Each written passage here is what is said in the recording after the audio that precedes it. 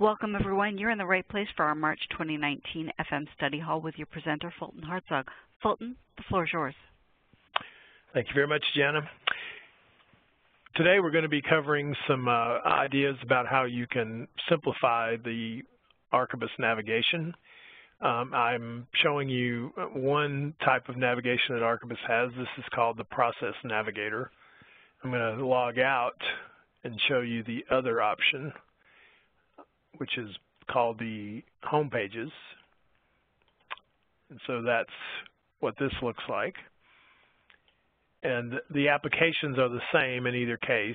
Uh, you see the what was down the side as uh, is stripes that were horizontal are now organized by what are called buckets, and you see them across the top and through the halfway through the bottom, and then you have your system uh, buttons here at the bottom.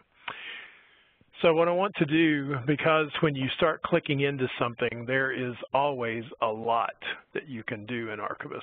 And even some of them are on second pages um, and, and can be very difficult to navigate. Now, one thing you do have the ability to do is to grab things and drag them into um, your favorites.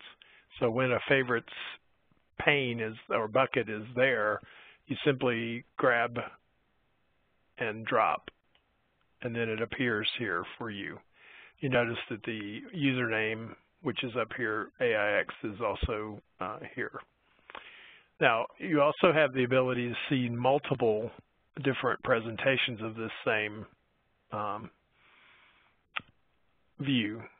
So you have a professional a portfolio manager, in my, in, I'm, of course, I'm looking at all applications here, so that can be a little bit confusing sometimes because your software may not have all of these things. but again, you see that you still have a lot to look at uh, in a lot of these different things, and you can look at this as well on our demo site if you'd like. If you don't know where that is, then we'd be glad to give that to, get that to you. And you can look through these various uh, pieces. So what I want to do, though, is to give you some idea of how we can, can make this a little simpler to work with. And so I'm going to go into System Administration, and right off the bat, I've got things that are listed in this first section that are be, will be useful to me. And then I have things down in this lower section that may be useful to me on two different pages. So I'd like to kind of bring things together and so I'm going to do that not not for that particular thing, but I'm going to do it for uh, space utilization. So the first thing to do is to get a list of the views you would like to put together into this particular um, process. And that's what we're what we're going to be doing is putting together a process. The way that Archibus works is you have um, a user, you have a role that is assigned to that user. The role is made up of processes. Those processes include a number of views, and those are um, all put together so that you can then deliver that to the role, and the person that has that role sees those particular processes. So what we're doing is sort of the bottom of that tree, and we're looking at the process and the views that go into that process. So we have a view here that we're going to, or a process that we're going to call space utilization, and then we have several views that we're going to include in that. So the way to start that is to assign processes to the views. So we're going to start down here in one of those deep areas. And we want to first of all, select a an application that you own. And so in my case, I, we are looking at the full license, but you may not have the full license. But in this case, we're looking at space, and I'm going to hit enter, and you see it shows me a few things in space. And I'm looking for specifically, in this case, the one that matches my um, processes or my applications in my um, list, and that is space inventory and performance. Now, under space inventory and performance, you see a number of different processes. And just to give you a little bit of an overview here, some of them are general, some are for specifically for Smart Client, some are specifically for workspace transactions, and they're usually labeled RM trans. And then some are for CAD, and some are for um, uh, Windows. So you want to uh, beware of, of, of that when you're assigning if you're trying to have it show up in a particular place and you don't have workspace transactions, then you don't want to use those particular ones. So here what I want to do is actually add a new uh, process. And we're going to call that process space utilization. So I'm going to copy from my list here that I've made up. Space utilization, I'm going to do a display order, and in this case, I'm going to leave it at zero just so it'll stay near the top of our list. I'm going to talk about where I want to use it. So in this case, I'm going to use it in the home pages. So those are called Web Page Navigator process. And then the license level, which is activity ACP, unless we were to tell you something different it's, it's always going to be that. So I'm going to click on that to save it. And now it should have shown right up at the top. So let me slide over here a little bit and do the display order. And now you see it is at the top with the zero. And it looks like I left something out because I left a hole in there. Let me edit that. I'm going to take the space utilization and I'm going to copy it down and save it. So now, now you see it's filled in at the top. Now, this is a little bit confusing sometimes with Archibus navigation. Uh, what am I supposed to do from here? So I want to add, I want to add views to this process. So if I edit the process, I'm talking about the process itself. If I delete it, then I'm deleting the process. But what I want to do is add views to it. So I'm going to click on the process. And then it shows me what's already been there. And of course, there's nothing there yet. So then we're going to go add new. So we're, cre we're creating a task. We're going to uh, give some information about that. Uh, so that it knows where to find the file. Now, I did, I did when I was creating this, and I'll go back uh, and show you how I did this to begin with, but I um, created this using um, tools that Archibus provides for us. So my first view that I want to add is the Global Portfolio Dashboard. So I'm going to copy that and put the tab, put it under task. This is a web URL, and oh, I'm going to come over here and I'm going to make the display order 100, so this is the first one in my list, and then I'm going to add a task file. So I'm going to go back to my list, and I'm not going to show you this list anymore because it's getting in my way. Um, and then I'm going to add the file name that Archibus needs to go find that particular thing. So I've copied that in and I hit save and now you see it comes up in at this first location. So I'm going to go on to add new. I'm going to go to the next one, Space Console. Add it here, put a URL, display order 200. And what I'm doing is I'm leaving plenty of room in case I want to come back later and be able to put things in. That number doesn't mean anything in particular and uh, other than just a way to sort. And that's how the program sees it to sort it. So I'm adding the task file and again hit save and now it's going to it's letting me build this list. So I'm gonna, now I'm going to add something a little bit different. I'm going to add a space. Now this is really an interesting thing. In Archibus, they do a, a space as we go down, or a, a, it, it is a dash, and then two dashes, and then three dashes, And the reason for that is because it's um, that's a unique that's part of the primary key and and that's how you have to make those unique. So I'm going to put that in and then you see it kind of got out of order here. So I'm going to do the display order. Now they're lined up. So I've got two views and then I'm going to have a space. And the next thing I'm going to do is add in another label. In this case, I'm going to add in the word occupancy.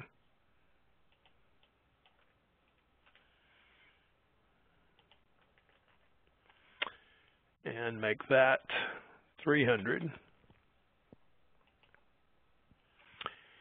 And then I'm going to add new. I'm going to add in some views that have to do with occupancy. And this again is a web URL, so I'm going to go with, uh, we'll just do something a little different here just so you see that the number is not all that important other than that they're in the right order for you to display. I'm going to hit save, and so now we're working our way down. I've got two more that I want to add. I'm going to get add new, web URL, display order is going to be 400. Task file. Save. And we're going to do one more. Add new. Web URL.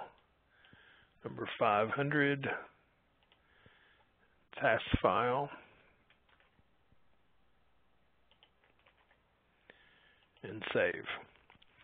So now uh, what I wanted to remember is that this is space utilization that I'm looking for when I go to put this into the system.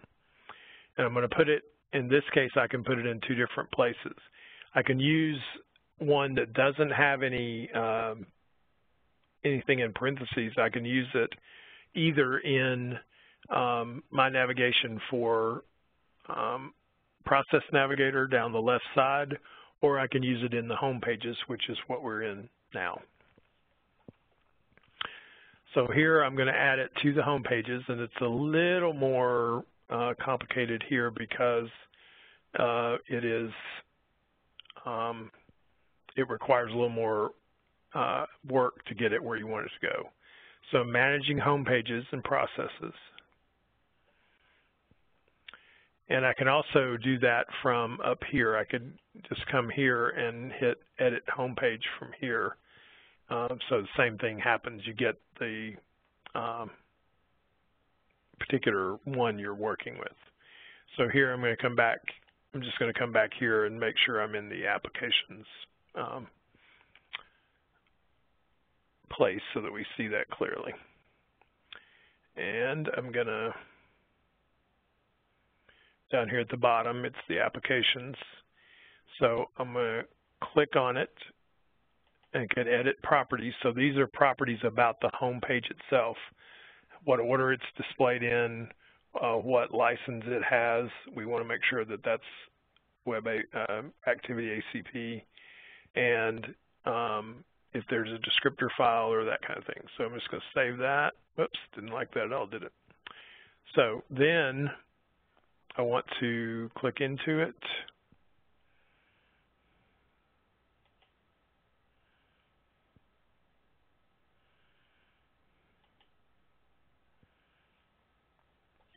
Well, and it's not going to let me do that, so let me add a new page. So we'll call this one space.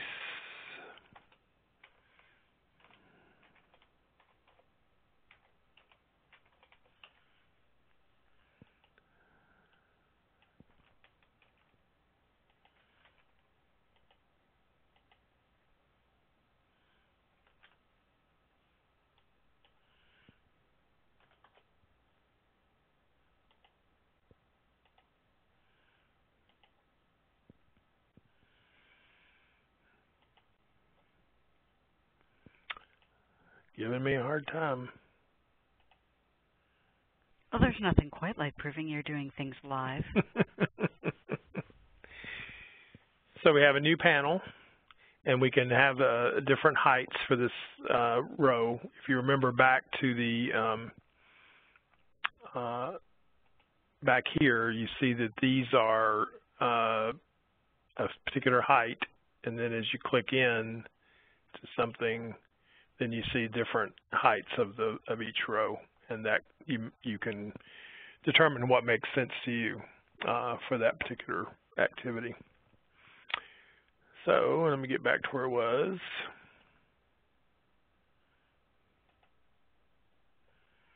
So there's my space utilization. I'm editing the page. And so my first thing is to, to edit the new panel. I'm going to edit properties. So my title is going to be space utilization.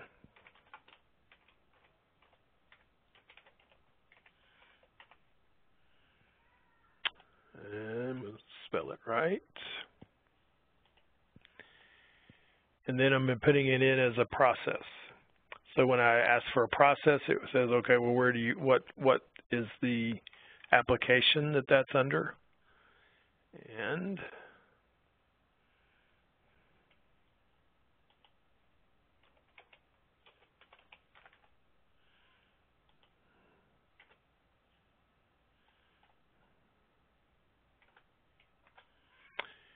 And then I'm going to pick that one that we did before, which is uh, space inventory bar. And then it will limit to what I have to choose from here, and I'm looking for that space utilization. So again, I'm going to type space here, and there it is at the bottom. And if I want to, I can add a tooltip here, and I can also make it a particular color. So I'm going to go with that and save it. And then if I if I choose, I can go further and edit, go back into those properties and edit it, or I can edit the tasks themselves, the same place we were doing that earlier. Also, if I make changes to that uh, independent of this operation that we're doing now, then it will um, add those in at a later point. So we want to publish and that's been published. And then we want to go to the particular user and publish it by role. So I'm just going to publish them all, but in this case, the activity licensee is the user itself. And we're going to, uh, it's going through and publishing uh, each of these for us. And as we, after we get that, then we'll be able to log out, log in, and we should barring any more mishaps, see our um, space utilization homepage show up.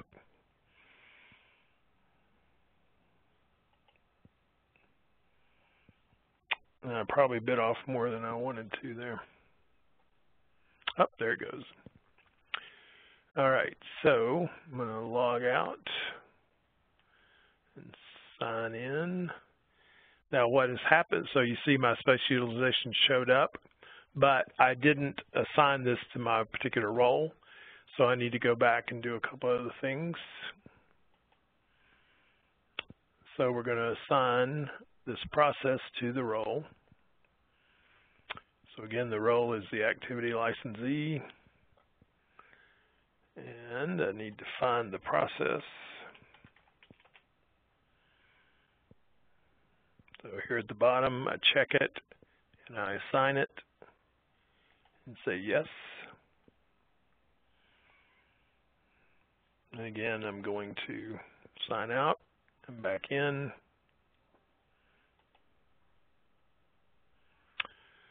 And it didn't, I may have to, I may have to go deeper than that to get it to show. But the idea being that once you've done that, and maybe you have to restart Tomcat to get here, but you'd have the views that you um, want to show here. And it also becomes, as you see, a part of your list that you're working with. So let me try one other thing. Let me clear my cache and see if that solves the problem. Nope. So I think I have to go and re restart. So I am going to sign out and back in as AFM.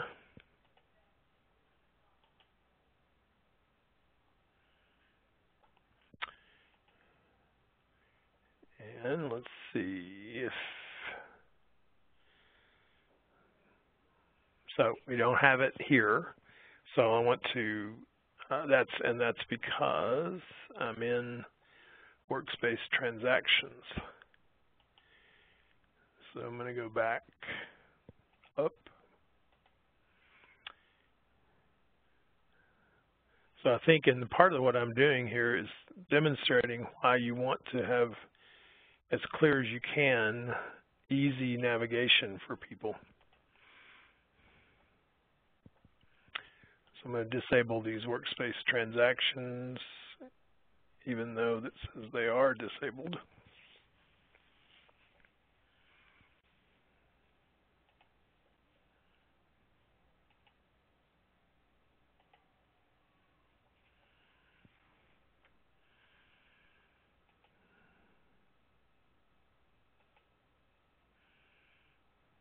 Okay.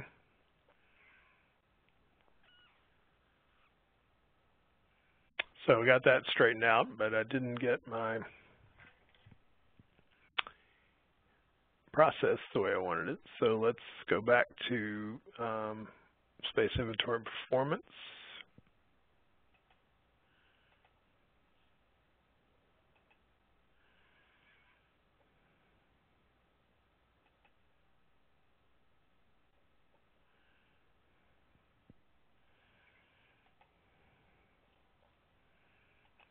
Confirm that this is here.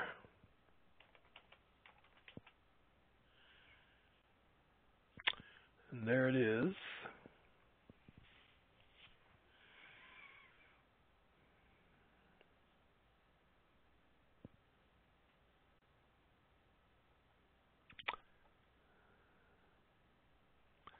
So again, I think I'm just not restarting deep enough to really make that fly the way it needs to. But um, essentially, I've shown you the process for doing this.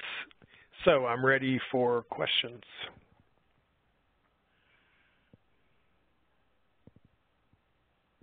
All right. If you have questions, now is the time to pop those into the chat or Q&A panes currently on the right-hand side of your screen. For those viewing the on-demand recording, thank you so much for your time. I'm going to end the recording right now.